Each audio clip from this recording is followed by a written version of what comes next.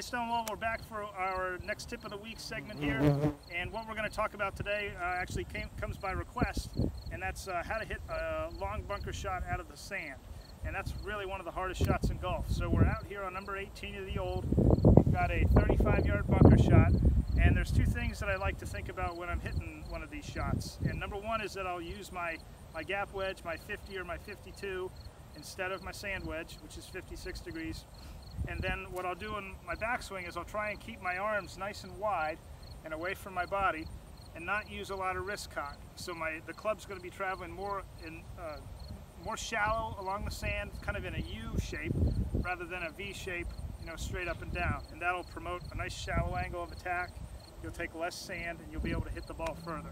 So keep that swing nice and wide, use your 50 degree, and the, these shots should be easier for you. So let's see how we do.